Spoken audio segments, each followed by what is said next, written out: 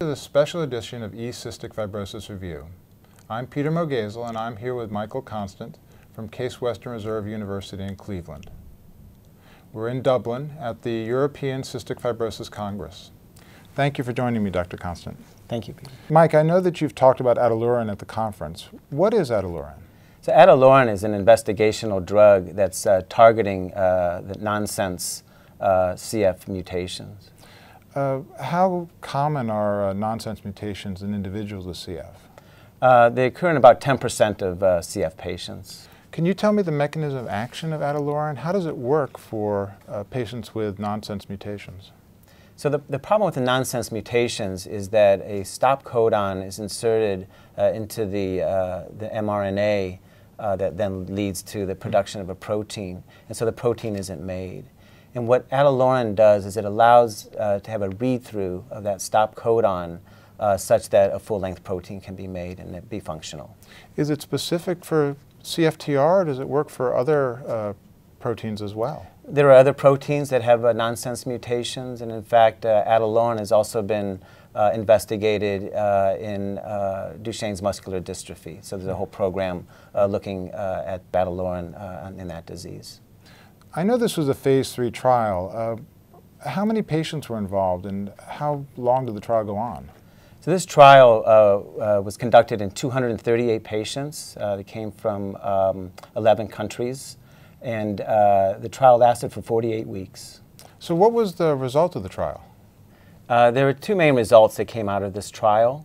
the first was in looking at the change in pulmonary function. That was mm -hmm. our mm-hmm. primary endpoint we were looking at the uh, relative change in the percent predicted FEV1 mm -hmm. uh, from baseline to week 48. Mm -hmm. um, and that result uh, turned out that uh, in the placebo group, uh, they lost 5.5% mm -hmm. of their FEV1, while in the ataluren group, they had lost 2.5%. So we had a 3% difference between the two groups. And was that a statistically significant difference? Uh, looking just at week 48, uh, it was not significant, but if you average the, uh, all of the visits, uh, the treatment effect across all of the mm-hmm. visits, mm-hmm. we did reach statistical significance. Oh, that's great. Yeah. Were there any other differences between the ataluren group and the placebo group? The, the other major finding was uh, the rate of exacerbations. So that was the secondary endpoint. And there we found a 23% reduction uh, in the rate of exacerbations uh, in the ataluren group when compared to placebo. I know that there were some other endpoints that were looked at in this trial. When will the uh, analysis be available for those uh, findings? So there are a number of tertiary endpoints that we're analyzing now, and we hope to be able to present those at the North American uh, Cystic Fibrosis Conference in the fall. Were there any uh, safety concerns during the trial? Uh, there were the a number of adverse events occurred. They were most common that we see in CF, uh, mostly related to the pulmonary and the GI uh, complications that we see. Mm -hmm. the only thing that uh, looked a bit higher in the ataluren group uh, were some elevations in creatinines. those were all mild, self-limited, um, and were controlled throughout the trial. Mm -hmm. Were there any subgroups within the study that you looked at? Uh, there were a number of subgroups, and uh, we actually found a very interesting result uh, when looking at the patients who were on uh, inhaled antibiotics, mm-hmm. particularly mm -hmm. those that were receiving aminoglycoside uh, antibiotics. What was that? So it turns out that uh, if you just look at the patients who are on aminoglycosides and compare the ataluren and the placebo group, mm -hmm. we saw no treatment effect there. Converse is true. When you exclude those patients, the treatment effect on ataluren uh, was uh, twice as great uh, for both the FEV1 measure as well as on the rate of exacerbations, much uh, half as many uh, rates of exacerbation when you exclude the aminoglycoside group. Other antibiotics such as, aztreonam or colistin didn't have the same effect as aminoglycosides. That's correct. they did not seem to impact the, the treatment effect. Um, why do you think that the effect was there with tobramycin?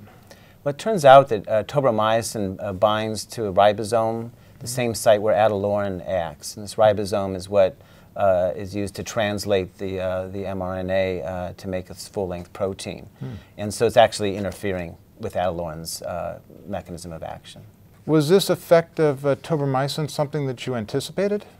Well, it was a possibility, knowing knowing that it's, it binds to the same uh, place that, that the ataluren does, and that's why at the beginning of the trial the patients were stratified as to whether they were on inhaled antibiotics or not on inhaled antibiotics. Does that mean that the uh, drug is only going to be effective in those patients that are not on inhaled antibiotics?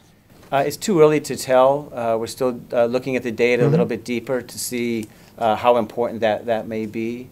Uh, clearly, these patients are on other Mhm. inhaled antibiotics as well, uh, so tobramycin isn't their only choice. Uh, were there any differences based on lung function or age? Uh, the uh, patients were divided uh, above 18 and below 18 in the stratification, and the patients, uh, the younger patients, uh, had a, a larger effect uh, compared to the older patients. Mhm. And also the patients who had FEV1 above 65% of predicted uh, had a greater treatment effect compared to those below 65. What are your thoughts on why that might be the case? Uh, we're still sort of delving into that Mhm. data, but it's, it actually turns out that that may be a good thing Mhm. uh, because we're obviously looking at the long-term use of drugs like ataluren uh, that are directed at the basic defect, and uh, the idea would be to preserve lung function. So younger patients with high lung function would be a, a great target uh, for, for all of these therapies. Uh, so what's the next step for ataluren? Are there more trials planned?